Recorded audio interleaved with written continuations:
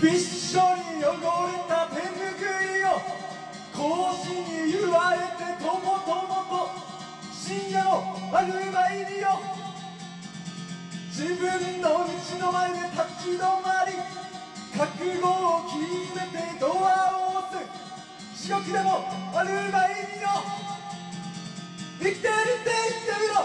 生きてるって言ってみろ。生きてるって言ってみろ。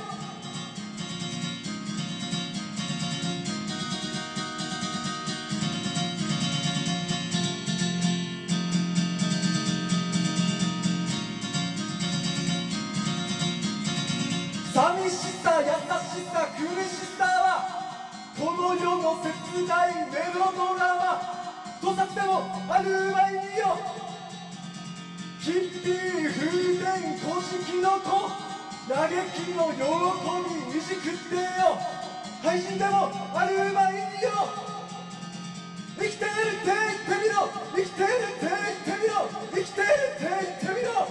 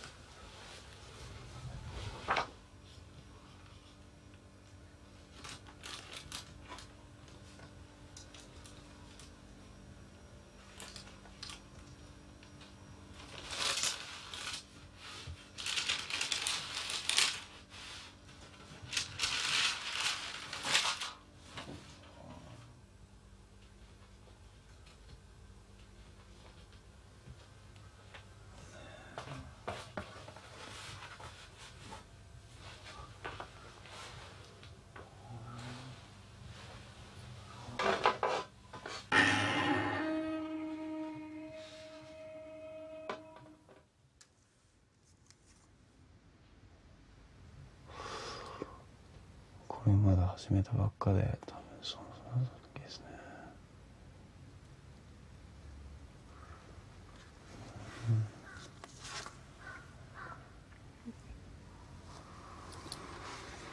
うん。おこれは相当まだ若い時の写真でレコーディングかなんかしてるんですよ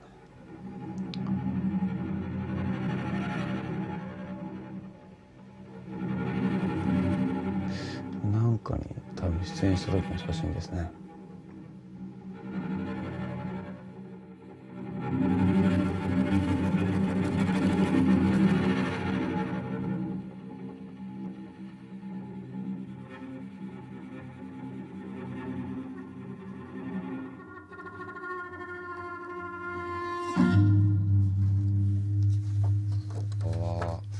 生まれは秋田県っていうとこなんですけど。日本の秋田県っていう上の東北っていうとこなんですけどそこから東京に来てまあそれで音楽なりを始め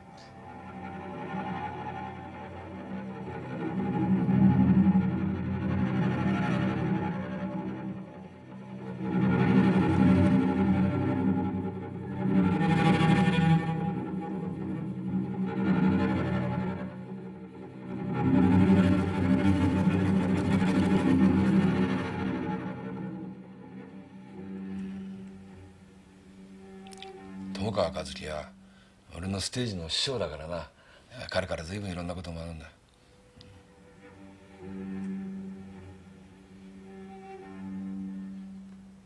彼は友川はいつも生きるっていうことが全てのテーマだだからしっかり、えー自分に向いて生きてる人間に対して強い共感を持って友情を育んできた男ですよね友川。は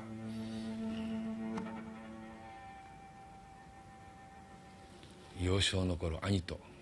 弟出てこないのかね悟は、うん。ああ幼少。母。母。おば祖母。兄。私。弟はいないないつもな、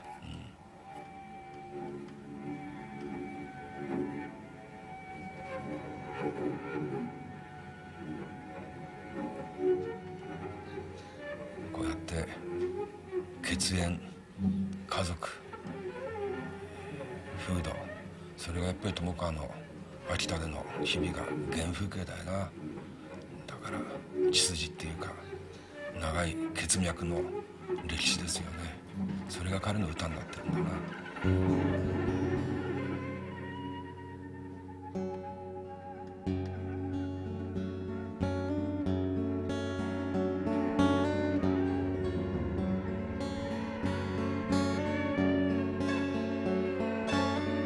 なんだろうと考えていると出し抜けに道端へ突き落とされた。口の中から星のようなものが飛び出して尾を引いて屋根の向こうへ。尾を引いて屋根の向こうへ。星はやがて見えなくなってしまった。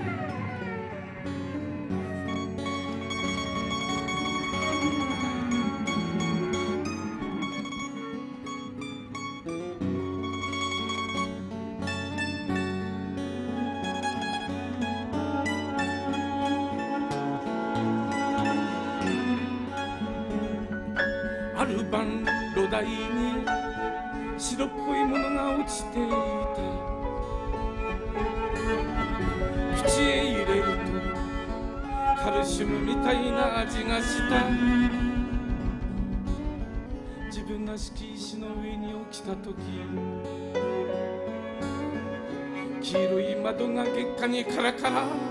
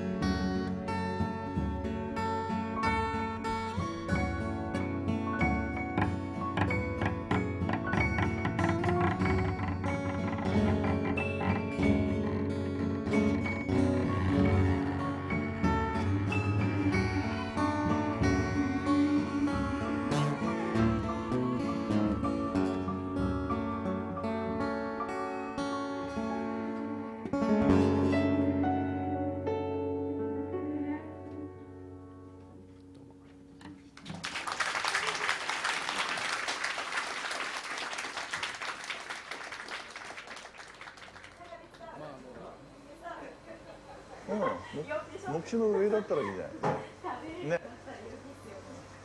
うん。あ、わかったわかった。はいはい。はいはい。じゃあ、うん。はいはいどうも。はいはいどうも。はい。あれは現代はなんだっけ。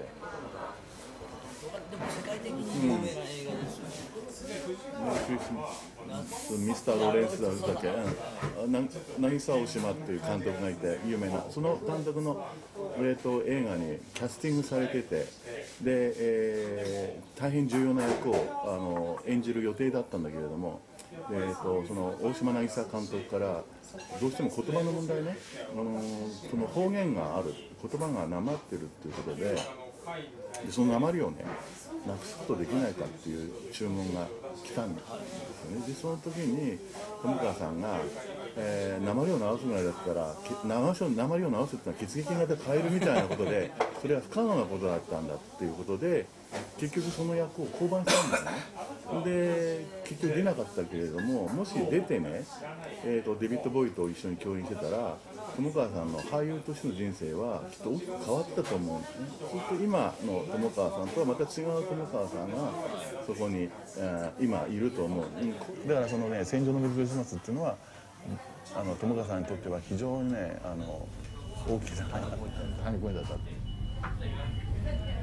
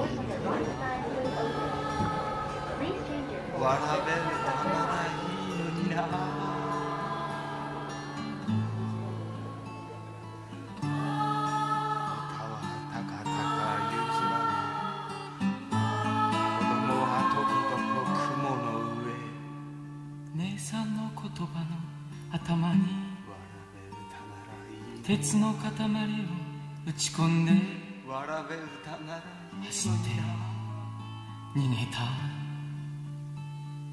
春はどこから来るの？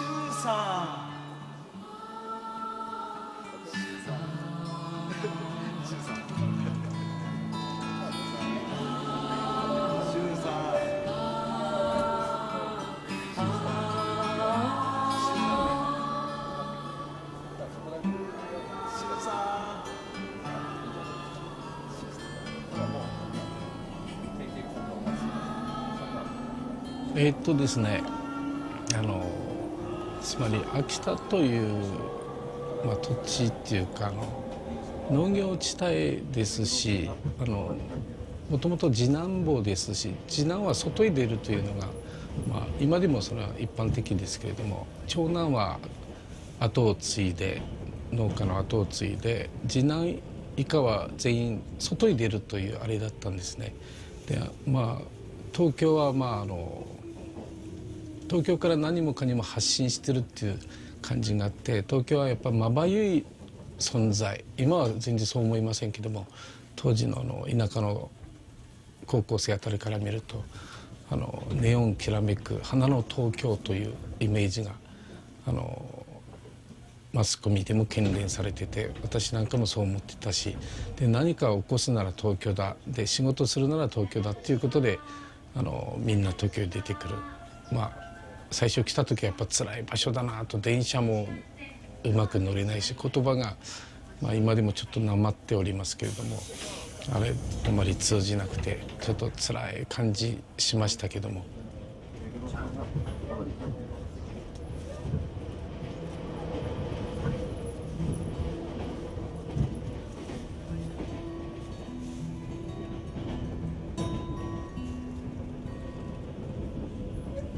二十歳か21か22その頃でしたし詩を書いてそれをタイプで売ってもらってこう束ねてですねそれを路上で売ってました、ええ、だからこうなんていうかねあのその頃はあの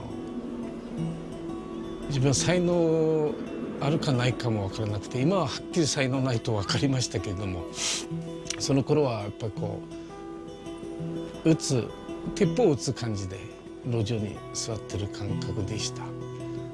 まあまあ結構売れてその日のこう小銭みたいなのは稼ぎましたけどもなんかやはりそれもなんか路上に座ってるっていうのが虚しくてやめてしまいましたけども今もまあステージへ上がっていく時はその路上で歌ってる感覚で今もいるからあの当時とは何も変わってないと思います。デパートや専門店で8000円から9000円1万円の品物全品が1000円でのご提供ですからどうぞご利用ください。さらに今回の目玉サービス本日の目玉サービスでございまして商品を8点お買い上げのお客様さらにもう1点商品を無料でプレゼントいたします。このすごいサービス絶対に見逃さないでください。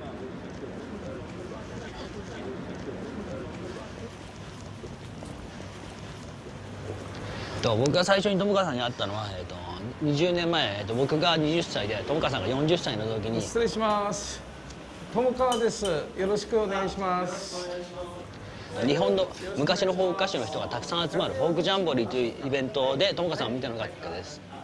でそれの前にも友川さんを見たことあの音楽聴いたことはあったんですけどもとそのイベントで生で初めて友川さんを見て、えー、びっくりしました。それはもう日本の当時のフォークミュージシャンっていうのはもう夏メロを歌って、えー、なんすかねもう昔の歌を歌ってお前らこれで満足だろう。でも友川さんだけはもう全然違って本当に今を生きてる本当に今お前たち一体何なんだっていうのを問いかけてる感じがしてそれにびっくりして大学の学園祭に来てもらったのがきっかけです。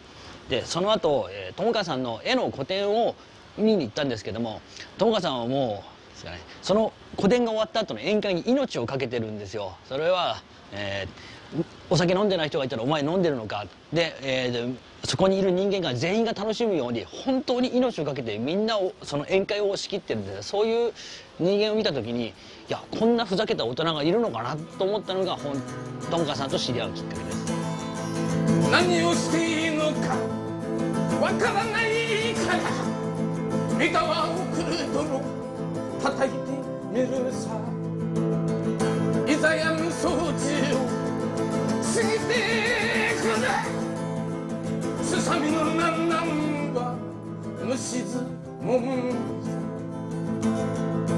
三種川に浮かぶキューピーのようだ悲しみのない哀れと青空だ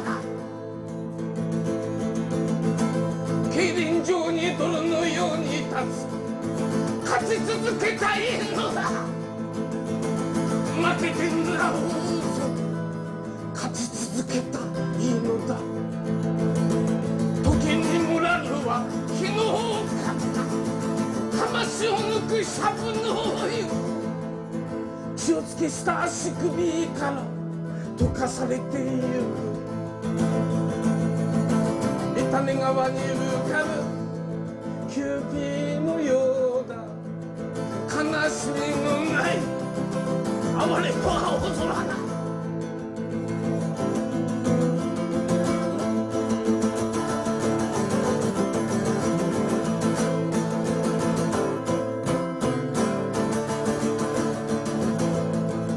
幻は菓子折りと言葉が好きなのだ。よって私は軽蔑された。骨は饒舌だが私はそれを歌えない。叩けばとにか才なしゆえ三種川に浮かぶキューピーのような悲しみのない。哀れと青空か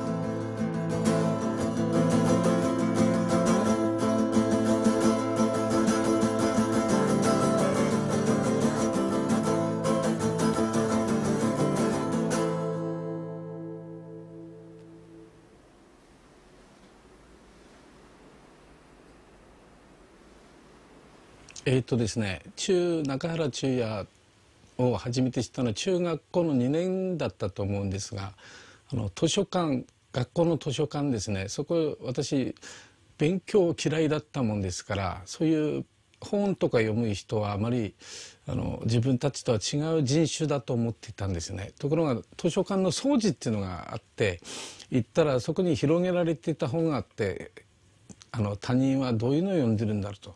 本読む人はどういうのを読んでるんだろうと思ったら「骨」という詩で「ほらほらこれが僕の骨だ」っていう詩があって私はびっくりしてしまってつまりサプライズですよね。人生最初のサプライズがその中原中也だったんです。だからもう全身ちょっとなんていうかなこう鳥肌が立つというかあの知らなかったんです。ただその「ほらほらこれが僕の骨だ」っていう一行では私はもう皮膚が裏返るほど驚いてしまってこれはやっぱりすさまじいものだと。まあその詩がすさまじかったんですけども今考えるとですねただその時のまでの今までその十何歳ですか34歳までの人生とそれその一つの死と出会ったその後の人生は次もうガラリと変わりました天と地がひっくり返るほど変わりました。我が身のこととてわけのわからん気持ち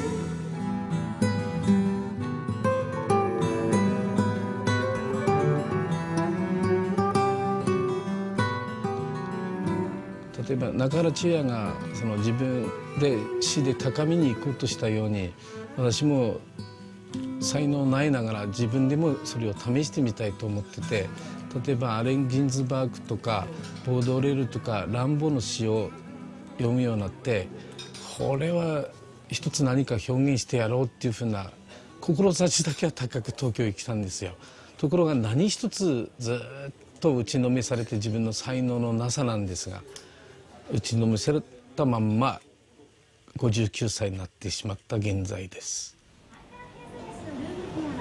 あなたのわがままをバッチリサポート首都圏ナンバーワンの情報量で国防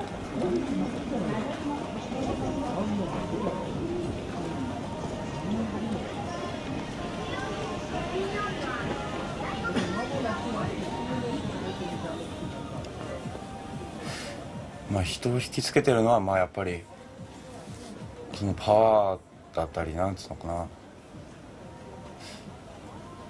人にはない表現方法まあパッと見てもそのエネルギーみたいなのがすごい感じるんでそのそれが人と人には狂気に移るんでしょうけどそうですねそれがやっぱり人には持っていないものを友川さんが持ってるような感じが人には映るんで、まあ、何かこの人は違うぞっていうのが皆さん感じてるんじゃないですかね。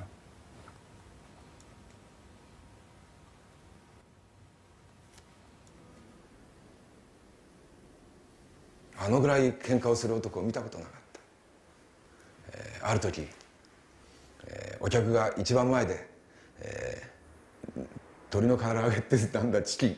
なチキンチキンあるそれを食べながら見ている男がいました。友川はいきなりその男をギターを置いて殴りつけました、えー僕はやはりうるさい客がいました。一緒にやってる時です。僕は大きな台本を持ってって降りてって客の頭を思いっきり叩きました。それから襟首掴んで出しました。だから、えー共感しない人間たちはやはりどこにでもいるんだけれどもあのそういう、えーなんていうのか僕らは魂で叫んでますから魂をおちょくったりからかったりする人間たちを絶対拒絶する。それがやはり友川と俺との共通の認識であった。と思います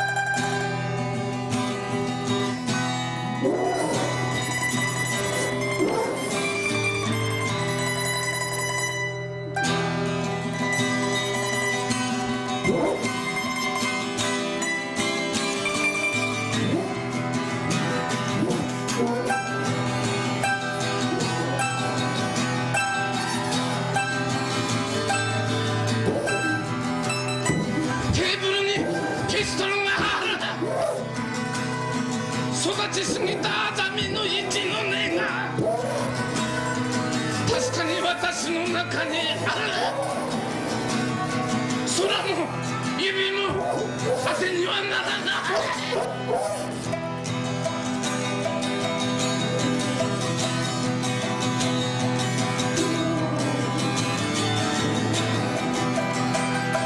緑高光高が立っていた。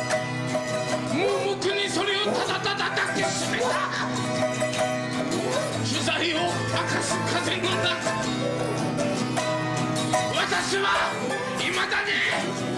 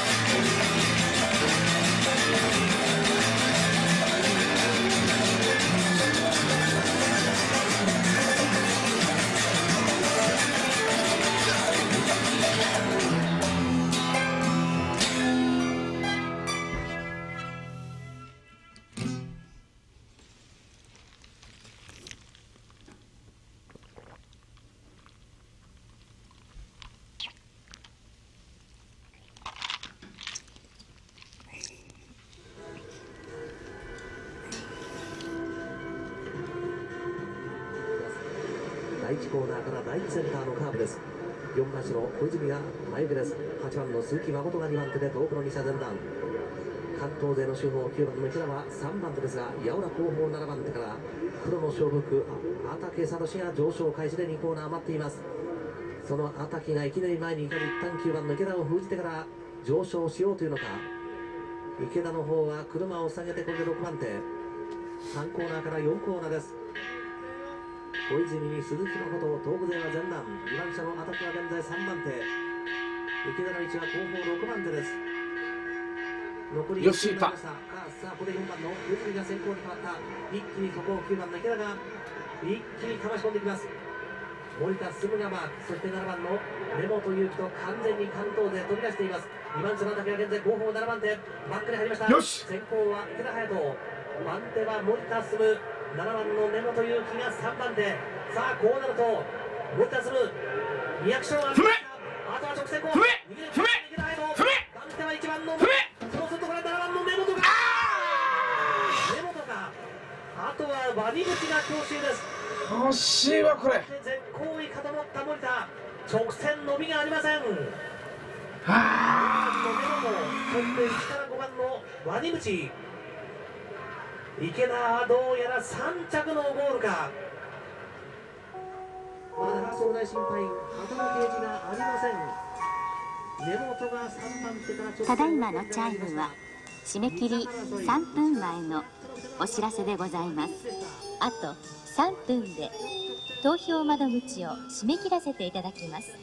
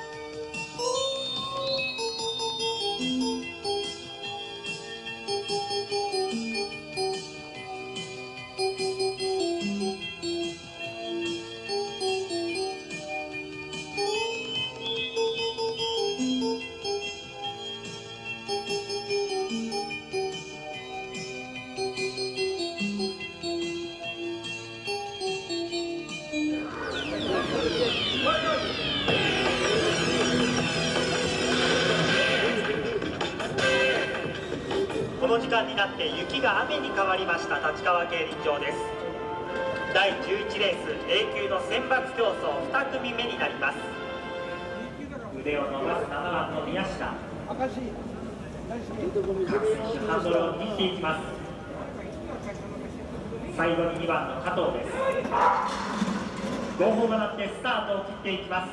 外から9番の赤石聡がまずは有料の後ろ9番群馬の赤石聡がつけました。前回の立川では決勝まで駒を進めています。9番の赤石です。5番栃木の中島敦弘がマークしていきました。9番表現と競輪っていうのはまあ相入れない部分にはあるんだけども好き嫌いでいくともう圧倒的にもう競輪の方が好きですね私は。つまり自分自分の中で整理して自分で考えて車検買うわけだから走るのは彼らだけども要は自分の中であの気象転結がつくっていうかあの終わるっていうのはあるけど表現はあのそれを見たり聞いたりする人がいるので非常になんかこう逆に気を使うところがあってそれが違うところですね。の宮下8番手に置かれた9番の赤石バックストレッチ3番手からまくっていきます。2番の加藤2番手横まで上がってきた。前を捉えるか3番の木村も懸命に抵抗している。さあ3番の木村が懸命に抵抗。なかなか上がっていけない。2番の加藤後方から7番の宮下も上がってくる。4コーナーから直線。あ木村が粘っている。外から2番の加藤も突っ込んでくるが木村押し切りました。木村が押し切りました。見事な逃げ切り。2着は2番の加藤か。押しして3切ったって言着に1ってました番の永井が入ってきています。一番3着だった。各総務審判員からは3上四足の仕だという方業が上がりましたお手元の投票権確定まで大切にお持ちください。とめだと強いのは残るんだな。はいじゃあそれではリプレイを木村元信完全に調子戻ったね。これで逃げ切りだよ。321だ。3の頭かってたんだよ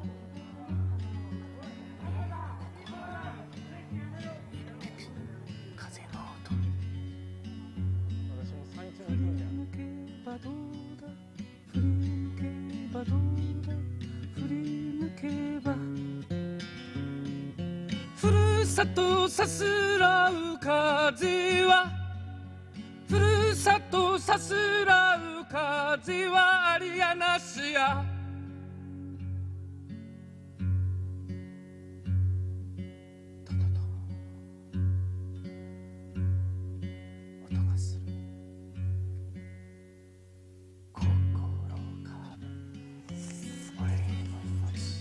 競輪場行くとこういう人いっぱいいるので競輪場のタイトルというか競輪場近辺の人々はいっぱい書いております。市民毛量の世界。何でもありっていうか。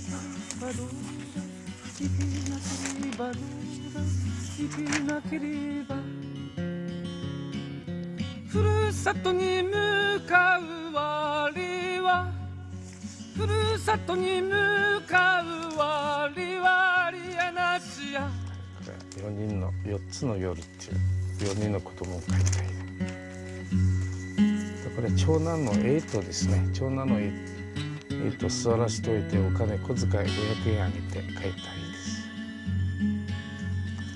この頃エイトは小学生かな小学生の頃でしたこれも四男坊ですね四男坊これは小学生の頃ですねやっぱりもう3年ぐらい会っていませんが今はこういう顔してないはずです。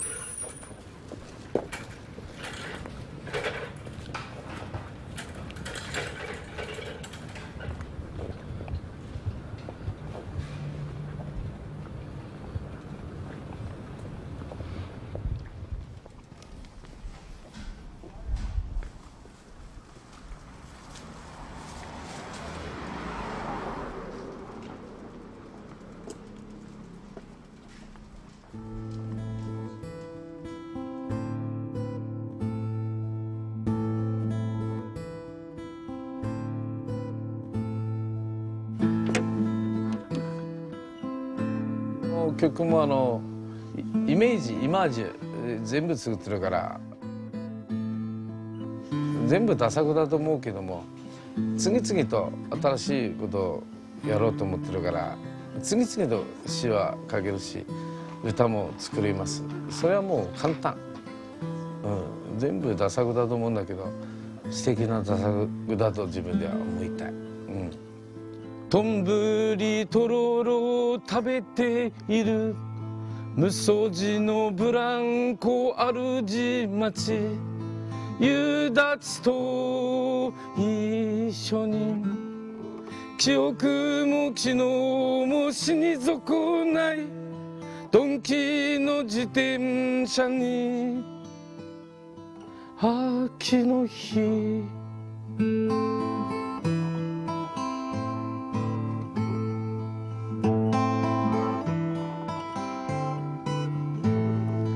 とんぶりとろろ食べている。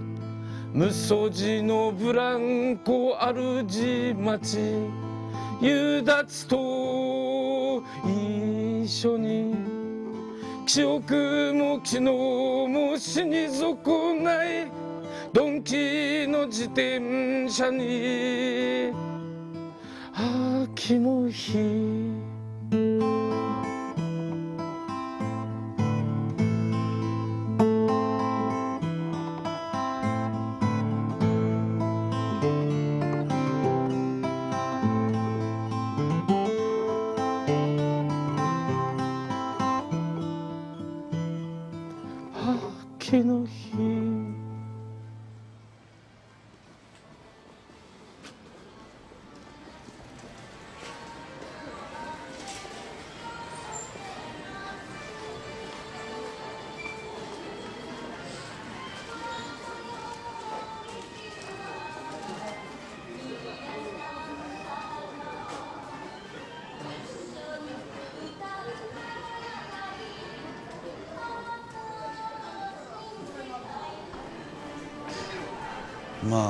自分のちっちゃい時っていうのは本当に親父のことはあまり知りませんでした。っていうのも本当にほとんど家にいなかったしそれの時でも月に1回も会ってませんでしたね。ひどい時っていうのはもう3年に一度しか会ってなくてまあ自分の父親っていう感覚がもう薄れてきてる時にふらっと現れる父親っていう感じでした。でまあなんつうのああエイト久しぶりだなってその親父が来た時に「ああ1年ぶりか」って来るんですけど「いやーお父さん3年ぶりだ」ってそういう会話もしょっちゅうあって。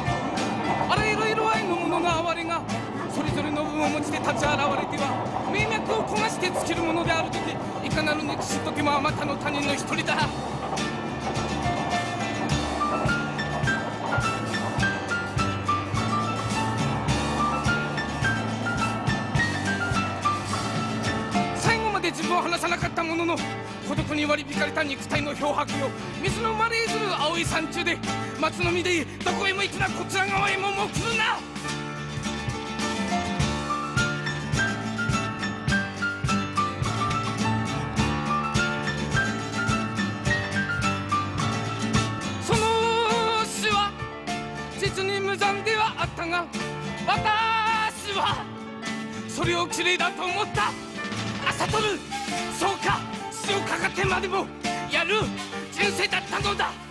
よくぞ走った走ったぞ。無残のだ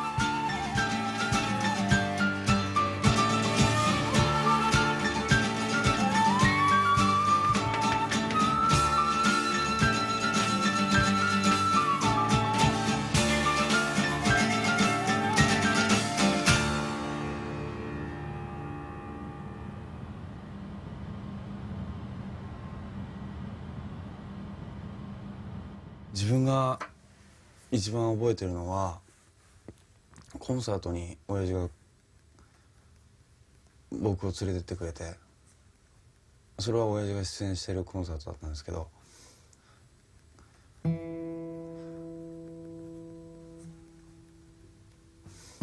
自分は袖で舞台袖で見させてもらって初めてその時にああ親父はこういうことをやってる人なんだって初めて認識しましたね。なんとかな自分が今まで聴いてきた音楽っていうのはやっぱり子供の時でもテレビとかでいろんな情報が入るわけで今まで聞いたことない音楽っていうのがまず一番子供ながらに強烈に印象に残ってえ親父はこれを歌こんこういうのを歌って要はるんだなっていうのをなんか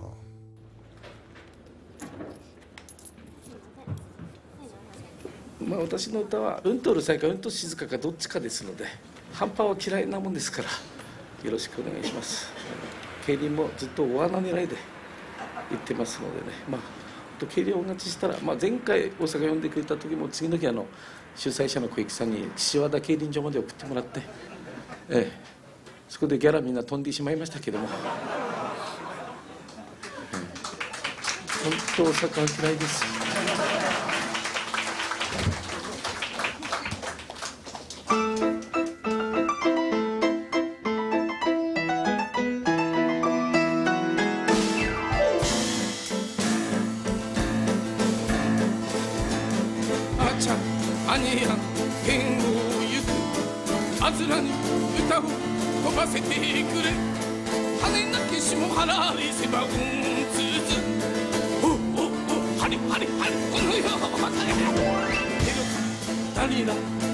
黒い朝だ。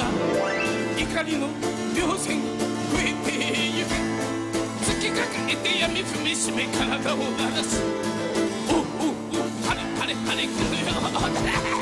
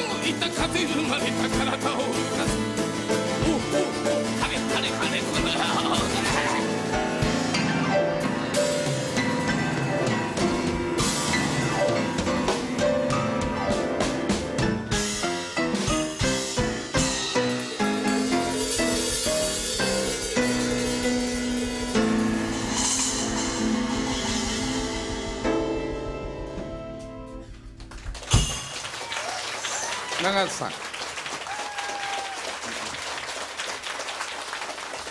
都市石塚俊明さん。どうもありがとう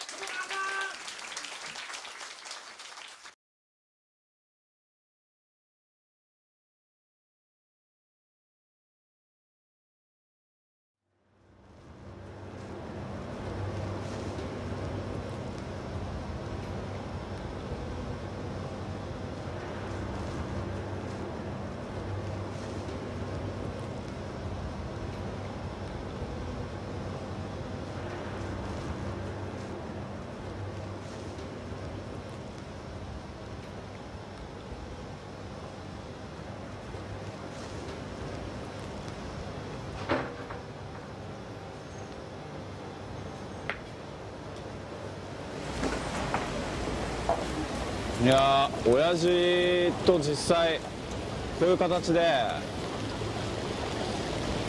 なんつうかな旅っていうか旅行っていうかしたことが今まで一回もなかったと思うんですよ。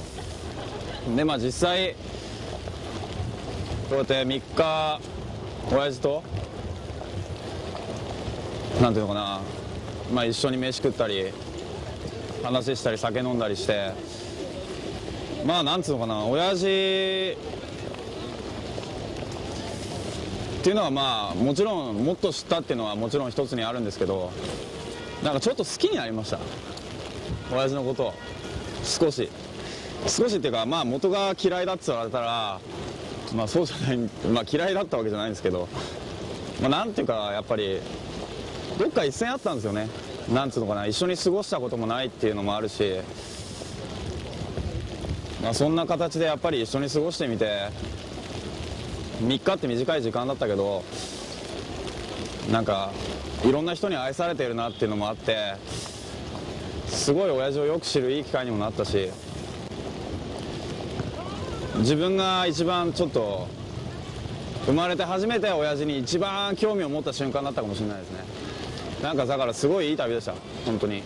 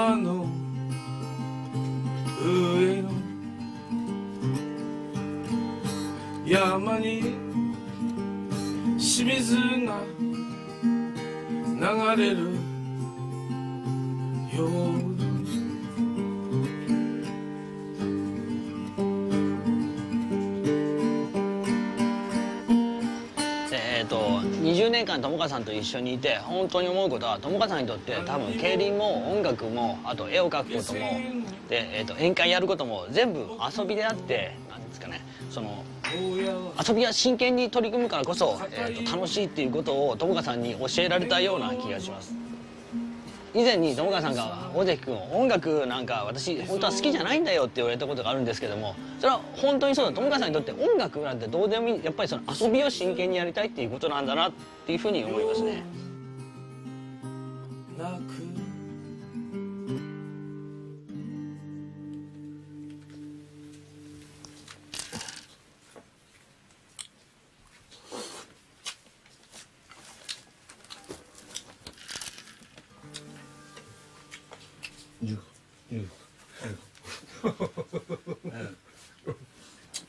泣いたうん泣いた泣いたちょっとちょっと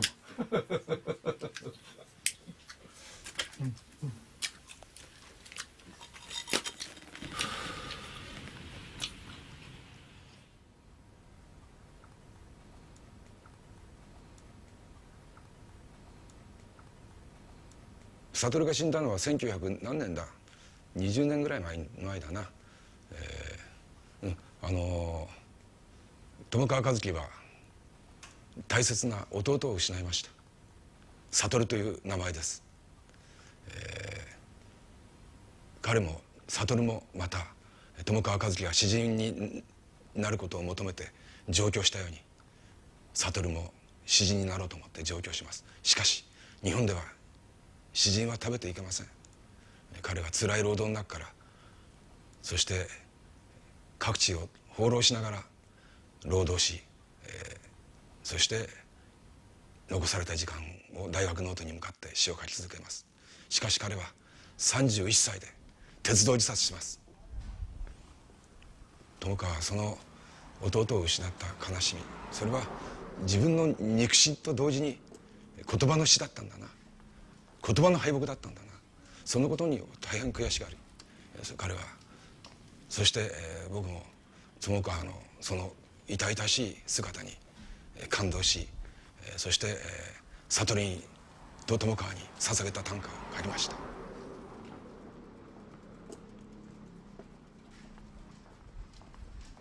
悟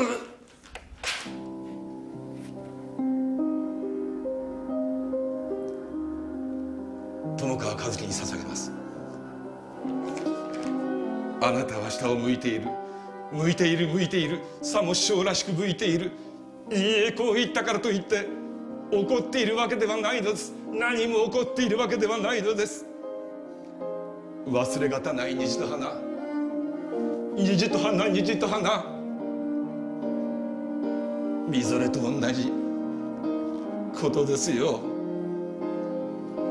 向こうに水車が見えています。苔むした小屋のそば。ではもうここからお帰りなさい。お帰りなさい。僕は一人で行けます。僕は何を言っているのでしょう。いいえ僕とて文明人らしくもっと他の話もすればできた。いいえやっぱりできません。できはしません。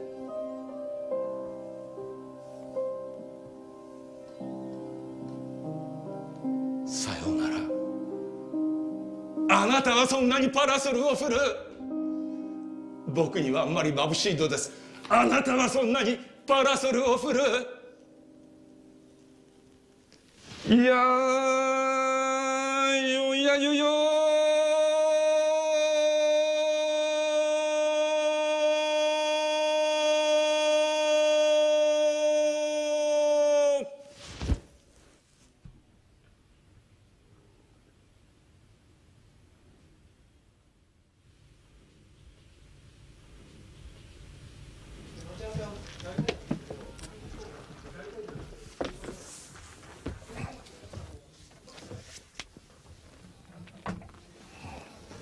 うん、もう一発でいきます。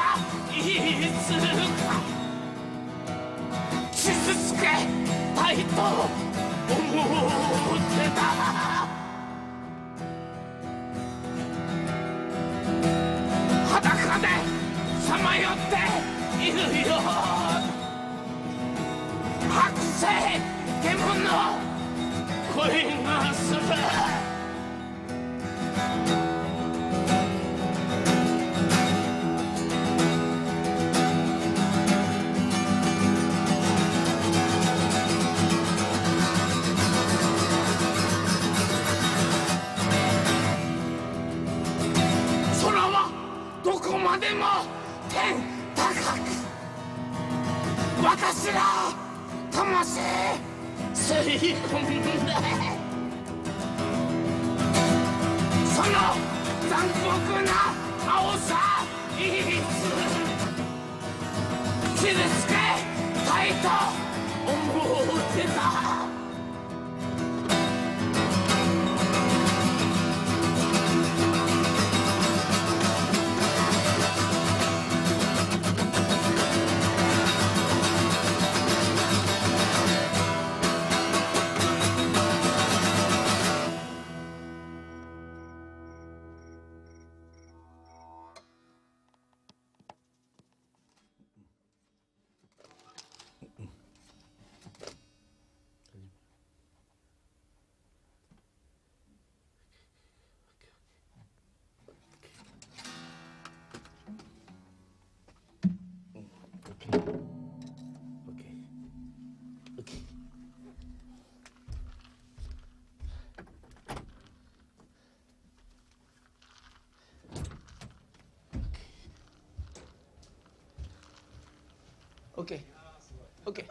OK OK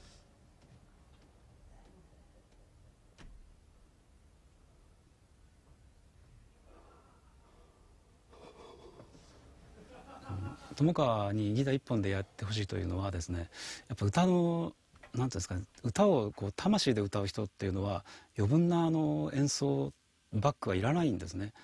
でフランスでもあのジョルジュ・ブラッサンスですとかあとアルゼンチンのユパンキーですとか歌の力っていうのが強い人の場合はあの伴奏はなくてもいいというない方が歌の力が伝わってくる深みが伝わってくるというえこともありますのでぜひ友川一樹にはそれをやってみたかった。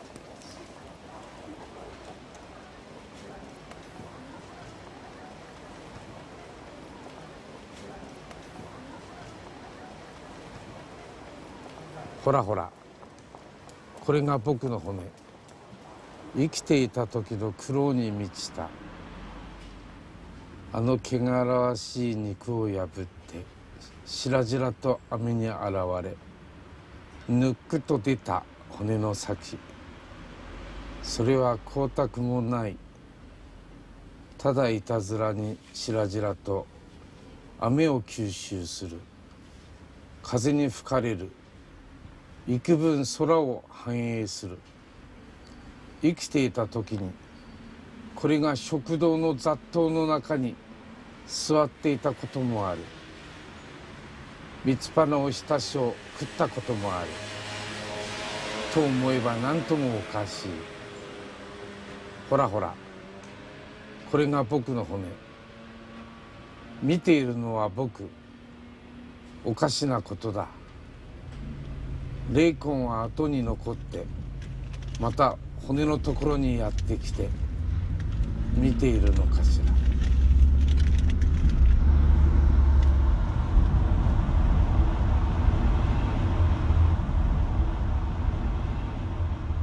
それからねやはり、出会ったものが別れなければならない。なんでだ？それがやはり僕ら友川と僕の共通の問いだな。出会ったものに対する出会ったものと引き下がれるように分からなければならない。それはなんなんでなんだ？そんな当然すぎることなんだけどその当然に対する問いかけっていうかねそれがやはり共通の僕らの共通の何て言うのかな魂を揺さぶると思います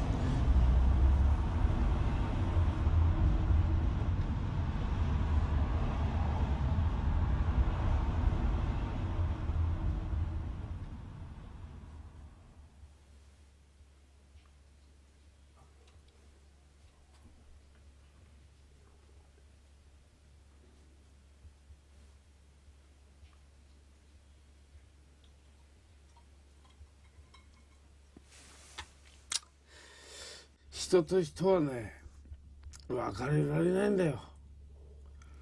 出会うだけなんだよ。別れのね練習なんてないんだよ。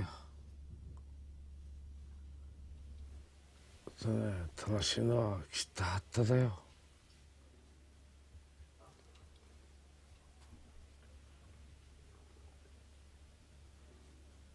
こんな日本なんか大嫌いだしこんなね時代なんか大嫌いだ。ね？みんな曖昧もっこだろう。こんなものありえないんですよくだらなくて。だからおいの表現は成り立つのよ。おいの表現やりたいってやるやるためにこんなふうに生きてるんじゃないけどね。みんな五条間の時代だろう。ほらもうね唾吐いてるんだよ。ずっと。誰も見てないんだよ。永遠に唾吐くんだ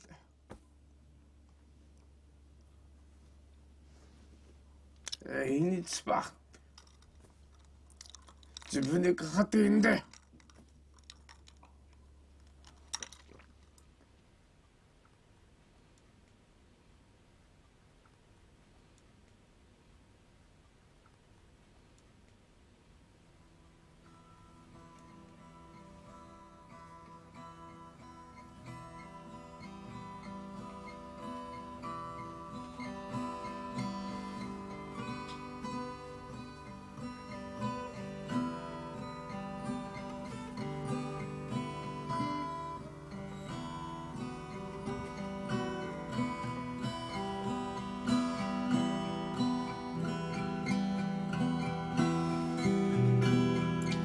高い高い山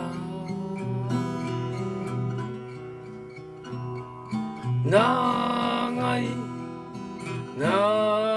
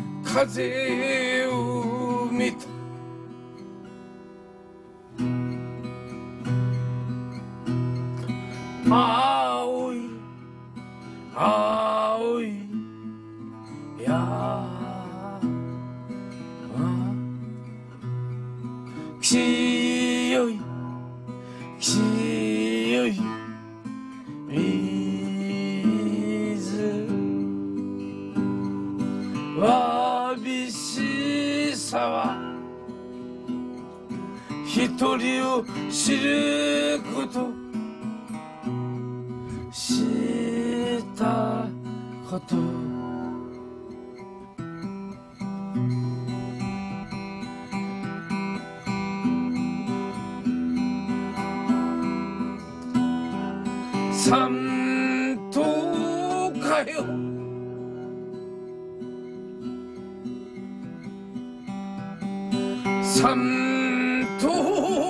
よ。